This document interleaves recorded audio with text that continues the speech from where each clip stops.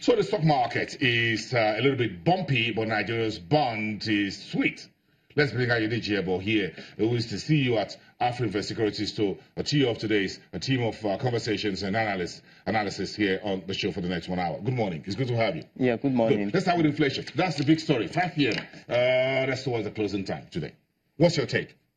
Yes, uh, forecast 11.5 Uh, we expect it to also moderate, but in terms of um, the base effect, we've discovered that that is thinning out, and before the end of Q3, we expect a, a, a reversal the upward trend um, levels. So we we see we expect that food inflation would also remain high. Um, we based on the um, planting season where we, we still are, and um, that would not um, that would help uh, moderate that base effect that we're supposed to see in the inflation rate. And let's get let's get to uh, uh, stocks are bumpy. Yes, uh, yes, uh, yeah. but, but, the bonds, the naira bonds seem to be shining. Yes, in, interestingly, we saw the sell-offs in the last um, in last two weeks with uh, across emerging markets. So it wasn't peculiar only to Nigeria, and that um, made some of the bonds, um, for most of them, were very attractive. Yields improved from the levels of about 12 percent to to close to 13 percent um, um, levels, and as a result, for uh, for investors, that presents um, attractive opportunity when you compare it to the short-term instrument treasury bills market, which um, which is less than um, I think around 11 around 11 percent levels, um, close to 12 percent levels. Um, would see that uh, investors that may want to lock in that uh, in anticipation of a further drop in interest rates may want to take position uh, in uh, in yields uh, when you see in terms of yield to maturity or some of those bonds uh, look still look very very attractive. And you have some bonds that not really you have the two year bond that uh, in terms of time to uh, maturity that you people can also investors can also take advantage of. Liquidity is very tight at the fixed end the fixed income end of the market. Central bank gives this regular uh, treasuries, uh, open market operations mop up. Uh, so where is this fresh liquidity coming into the stock market? Is it the same hedge funds uh, folks that left us with a, a, bitter taste of almost a trillion naira in our mouth? No, I feel we've seen increase in participation from even the uh, pension fund administrators. We've seen, uh, and we discover when you look at what happened in the market last two weeks, uh, market loss for over uh, for close to 14 days before we saw the rebound. So that presented entry opportunities for some investors, uh, especially even the uh, institutional investors that uh, were uh, that missed out of the initial rally. And looking at the price in terms of multiples, we saw some improvement in, in terms of multiple as a result of the drop in in the share prices. So we've seen increased volume, we've seen large trades be crossing on the floor. Dangote Sugar yesterday about um, 50 million crossed in the market at 21 naira.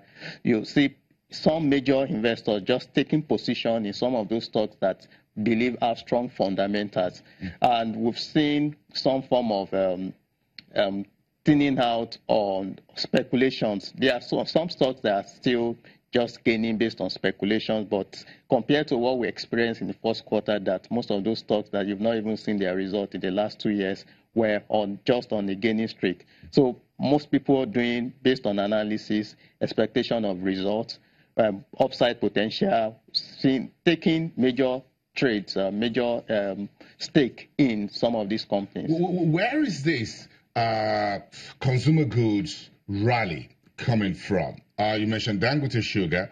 Then I can add Cadbury, I can add Nestle, I can add Honeywell flour. It looks like all almost all the big names in that space within that sector seem to have maintained this trajectory.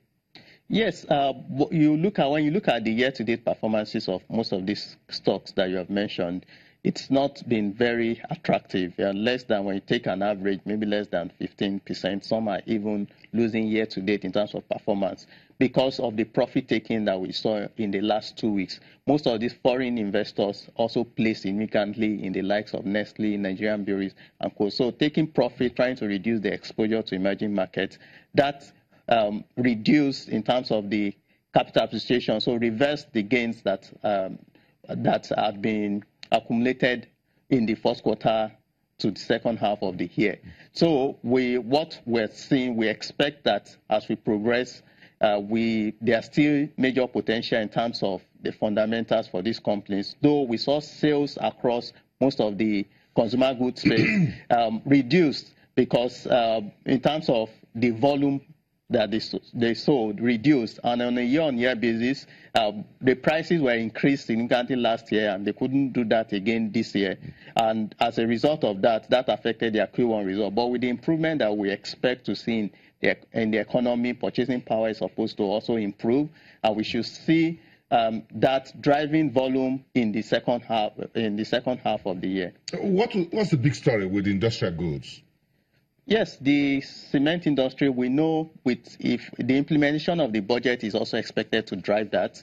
Um, cement is key. It's still a developing economy. So even our housing deficit, when you look at even that space, you need that for construction of uh, of um, of the houses. Also, uh, we know some there within that space. We're also trying to test how you can also use cement in, to construct roads. So that and as a result, that would open and increase the demand for the product for their products within that space. We've seen Dangote Cement that still dominates that space, and uh, we'll continue to see how uh, Dangote Cement would across African um, countries to export even from Nigeria as we progress. Is this is this a bull rally or a bear trap? It's um, I would it's in between the two uh, because uh, we'll see that the rally, we also see some moderation that we expect. Um, people are anticipating as a result of the new policy, the multi-level policy of the pension industry, which will take effect effectively at the end of the year. But we don't expect the PENCOM, uh, the PFAs to wait the end of the year. That is also expected to drive uh, performances in, within the equities market. Okay, 30 seconds. Should I watch the US Fed? Should I watch FX? Should I watch inflation? What is most important for the rest of the week? I think the US Fed is most important. And that's today? Yes. Later today. We're going to watch all of that. Thank you very much, Ayodeji Ebo, who is the CEO at Afrinvest Securities, the US Fed interest rate decision today uh, keep that on your uh, calendar uh, well, your time uh, for the rest of the day. Let's talk about the new FMDQ clearing infrastructure. Cody Ugoji, who is an associate executive director at FMDQ OTC Securities Exchange, is live here in the studios. After the break, you're watching Business Morning.